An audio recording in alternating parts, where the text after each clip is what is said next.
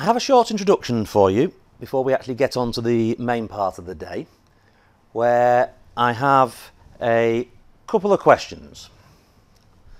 So first question, who has worked with 8-bit architecture? Who has actually worked with 16-bit microcontroller architecture? And who has actually worked with 32-bit microcontroller architecture? And more specific for the 32-bit architecture, who has actually used before the STM32?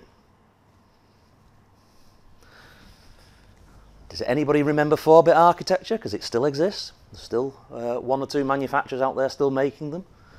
So, so there, there's lots of different architectures out there. Most people have normally moved architecture because they need extra performance or extra peripherals.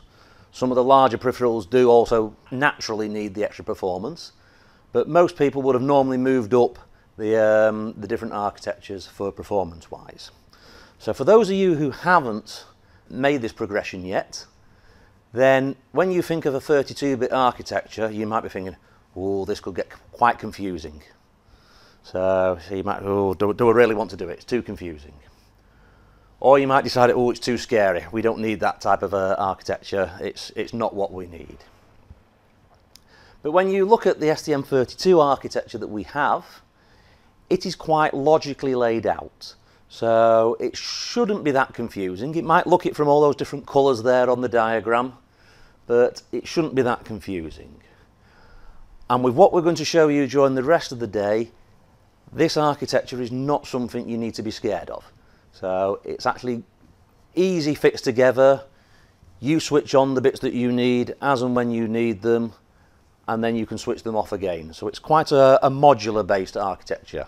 So if you think of each of those color-coded blocks as a module, you either use or don't use, switch on when you need it, switch off when you don't need it, then it is, it's not as scary as you think. So, so we're going to have a look at this particular architecture structure there, and we're going to show you the different features. And during the hands-on, we will use some of these peripheral blocks or these coloured blocks for part of our application.